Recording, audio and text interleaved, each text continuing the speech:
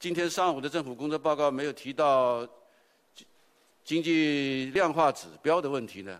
我理解你是讲是没有提到 GDP 的指标，就进 GDP 的增长指标。这个呢，我觉得它已经客观上它的内容呢，已经融化到其他的相关指标当中，包括财政政策、货币政策和其他政策当中的。这次的疫情呢，突如其来，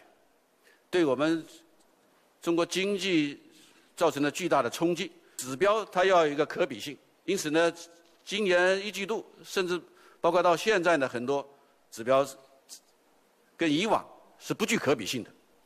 第二呢，中国经济已经深度融入全球经济。那么现在世界范围内呢，这个新冠肺炎疫情客观上还在蔓延，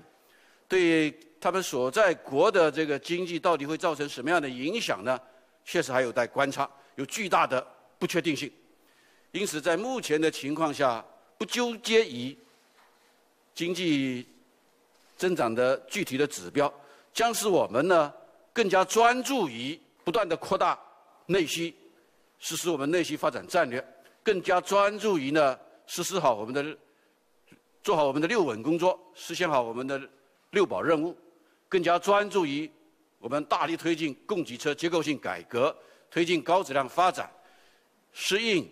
引领创造新的需求促进形成强大的国内市场。